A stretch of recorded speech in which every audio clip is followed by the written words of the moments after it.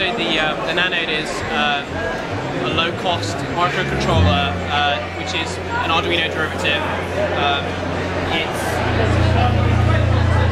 essentially an Arduino with the Ethernet shields in, in one board, and it's 20 pounds. And um, it's open source hardware and software. We've made this with the community in mind. Made it very easy to assemble. Uh, you buy it as a kit that you solder up, and uh, we want people to hack these and tinker with them, make interesting software applications, and modify the hardware to, to suit their own purposes.